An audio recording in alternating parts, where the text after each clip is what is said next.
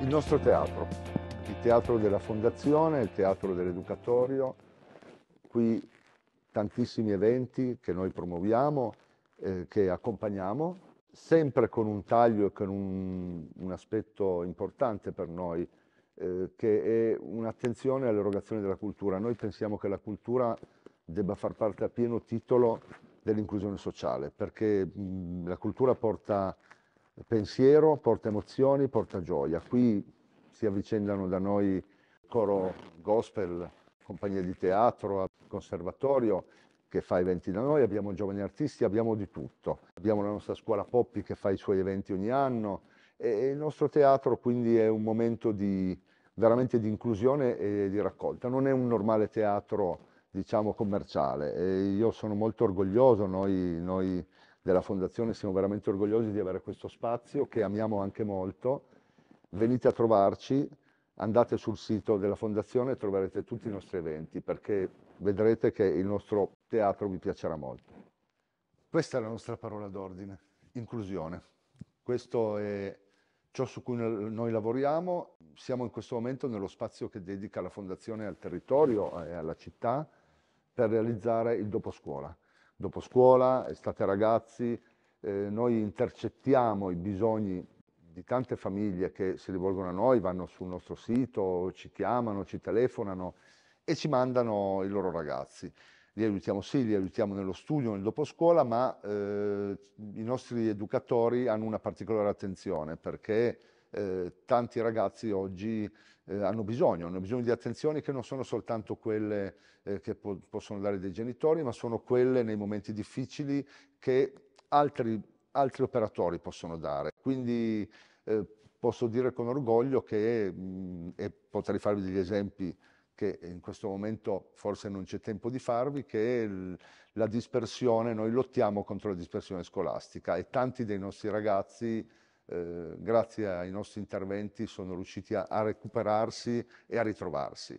Non soltanto qui, ma anche nelle scuole di territorio, facciamo degli interventi, li facciamo con i nostri psicologi, con i nostri educatori, gli interventi sono mirati eh, a, ad accompagnare il, i docenti e i professori nelle classi delle scuole medie e dei licei eh, nell'affrontare i temi del cyberbullismo, nell'affrontare i temi eh, del corretto utilizzo dei social e di internet, li aiutiamo, li aiutiamo, li aiutiamo qui, quando vengono qui i nostri ragazzi nel doposcuola, li aiutiamo nelle, nelle scuole del territorio. Eh, per noi è fondamentale ed è uno degli asset principali della Fondazione quando appunto parliamo di inclusione sociale perché eh, pensate che i nostri ragazzi sono molto ma molto più fragili di quello che, mh, che, sembra e quindi noi cerchiamo con i nostri operatori che sono giovani e bravissimi di intercettare, di andare al cuore dei nostri figli e dei nostri ragazzi.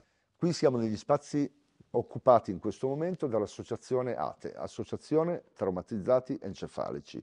Loro sono ehm, operatori del volontariato, rientrano in un progetto che la Fondazione ha messo, ha messo, in campo da circa due anni, cioè quello di accogliere nei suoi spazi, anche gratuitamente, mondi del volontariato per consentire loro di realizzare le loro attività. Questo era eh, per la Fondazione un laboratorio tecnologico, ATE lo utilizza, come vedete dai computer che sono qui in sala, per quelle finalità. ATE è una bella realtà, aiutano tutti i soggetti fragili che purtroppo sono stati colpiti da traumi encefalici, vuoi a causa di eh, traumi proprio veri e propri, di incidenti stradali, vuoi anche per ragioni invece purtroppo di natura medica, eh, sono un, una bella realtà, eh, loro sono nel nostro progetto. Insieme ad ATE abbiamo la consulta delle persone in difficoltà, l'associazione dei diritti negati, ed altri mondi del volontariato che collaborano con noi.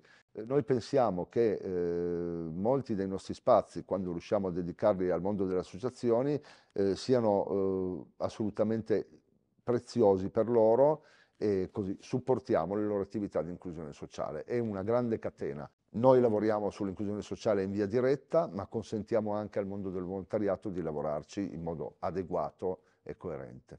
Questi sono i locali che la Fondazione ha dedicato al progetto HPL. Come vedete qui ci troviamo in un grande salone che è eh, il salone principale utilizzato eh, per questo progetto che si chiama High Performance Learning. È un progetto fortemente voluto dalla Regione Piemonte, realizzato in concreto grazie alle attività poste in essere dalla CPD, dalla Consulta Persone in Difficoltà, che è un nostro partner, dall'Associazione Diritti Negati e eh, in collaborazione con, anzi in direzione di Roberto Keller, che è uno dei più grandi esperti eh, psichiatri sul territorio che si occupa di autismo. Eh, il progetto HPL è rivolto al disturbo dello spettro autistico, a questi ragazzi e ragazze in difficoltà e dalle loro famiglie. La peculiarità di questo progetto è proprio quello di accompagnare le famiglie per una miglior gestione dei ragazzi. Come vedete questa sala ha dei colori molto tenui perché mi hanno insegnato e mi hanno spiegato che per curare il disturbo dello spettro autistico questi ragazzi così eh, fragili hanno necessità di avere eh, delle, dei locali molto sobri anche nei colori, eh, non ci devono essere rumori, quindi c'è una forte attenzione anche a questi aspetti diciamo così molto tecnici. Ma eh, al di là di questo, di questo eh, volevo dirvi che la Fondazione è orgogliosa di partecipare a questo progetto e pensiamo che questo sia veramente un modo autentico di operare nell'inclusione sociale. È vero, ci occupiamo anche di arte e cultura, è vero, ci occupiamo di volontariato culturale, ma la disabilità è anche un passaggio per noi fondamentale per operare nell'inclusione sociale.